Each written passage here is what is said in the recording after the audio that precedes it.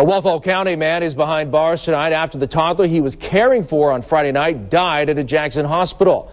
16 WAPT's Meg Pace tells us what investigators in South Mississippi believe happened. 16 month old Bailey Randall is being cared for here at this home in Walthall County. It's the home of her mother's boyfriend, 26 year old James Dusty Lowry. That toddler was taken to a local hospital, then rushed to UMC in Jackson. Doctors there then contacted the Walthall County Sheriff's Department saying they suspected abuse. The toddler had severe head injuries.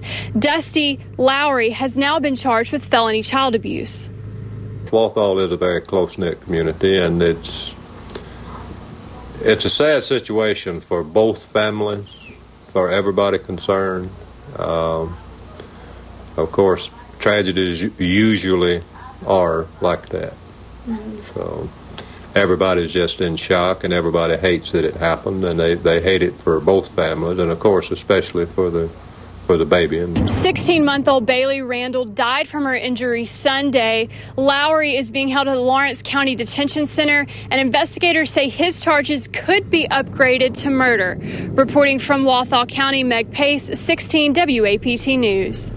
Lowry is being held in the Lawrence County jail because investigators say they have better facilities to hold people in solitary cells. He's being held there without bond.